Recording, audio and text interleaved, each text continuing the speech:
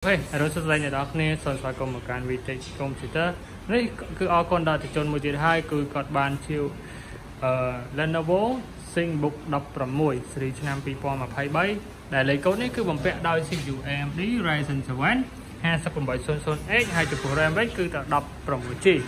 ហើយចំពោះ Starlink វិញគឺ Mate PCIe មកជាមួយផងដែរគឺកប់មែនតើហើយចំពោះអេក្រង់វិញគឺ16 inch Full HD 2K ហើយចំពោះ GPU វិញគឺអំពើបំពាក់ដោយ GPU Nvidia RTX 366G មកជាមួយផងដែរហើយជាចុងក្រោយគឺភ្ជាប់ជាមួយនឹង Windows 11 License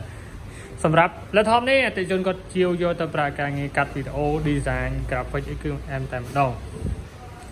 អូខេចំពោះតម្លៃវិញអ្នកនរគ្នាប្រហែលជាចង់ដឹងតម្លៃថា ThinkBook 16ស៊េរីឆ្នាំ2023នេះតម្លៃប៉ុន្មានហើយ ចំពោះតម្លៃគឺ special មែនតើគឺត្រឹមតែ999ដុល្លារតែប៉ុណ្ណោះហើយមានការថែមជូននៅអីវ៉ាន់ជាច្រើនទៀត